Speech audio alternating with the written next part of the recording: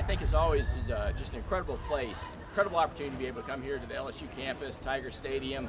Uh, you guys are known for putting on uh, quite an atmosphere. You know, we're expecting just a, an incredible challenge. I think it's going to be uh, a very tough game. I know almost all the Georgia fans were pulling for LSU last week against Florida. And it was very disappointing.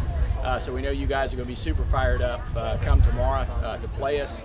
I think we're putting a very good team on the field. I think we got a lot of depth um, but we're definitely expecting a, a very yeah. close game. Awesome. Do you have a prediction for us?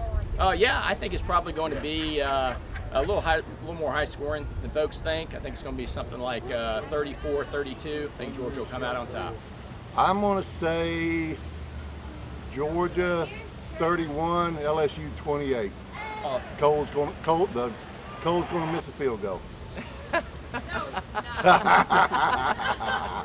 His first one in a big game. All right, I'm going uh, Kristian Fulton pick six in the first half, and then Devin White strip sack.